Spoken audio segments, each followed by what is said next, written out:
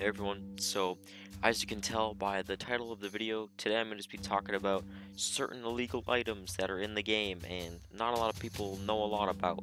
First one, I feel like we should talk about the drips.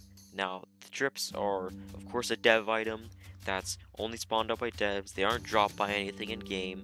The only way of is achieving them if a dev gives it to you or it's during a world event where a dev decides to add the drip to the loot pool of the boss of whatever we're fighting. So the first two in question are the variant ones. These ones are both given out by Kensai. The first one that was given out is the Legendary Drip. Now the Legendary Drip was given to Super Chief after he won the Vesteria Pictionary on stream once. And then there's the Keen one. Now the Keen one, not a lot of people knows like where it's at right now. Some people say that the guy who owned it vendored it or whatever. Personally, I would really like to know where it is. Um, otherwise, it's literally just a drip that gives plus one int. It's nothing special. And then there's the green drip, which is something that's actually special. It was given to Revan Slayers, as you may know. On his 20th birthday, he got it from David I.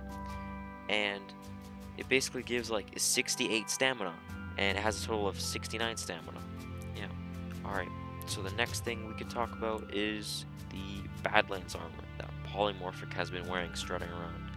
So some people have been confused about where did he get it? Is this going to be released in game? Well, of course it is.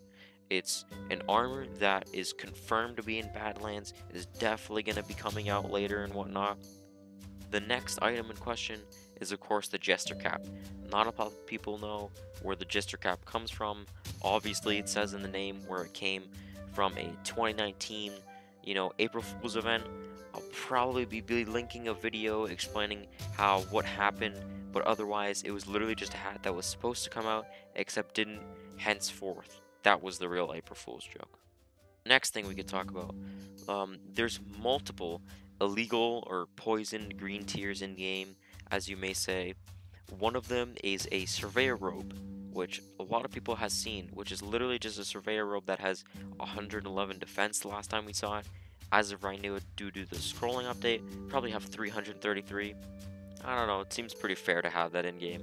Next, let's talk about the, uh, you know, the, there's some weapons out there that have like a little too much attack. That's all I'm gonna say.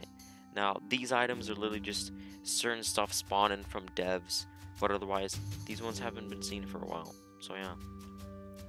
Alright, so that's everything I can come up with at the top of my head. If anybody thinks I missed something illegal that they don't know about, I could probably explain it. Just put it in the comments below and like and sub set up set up set up.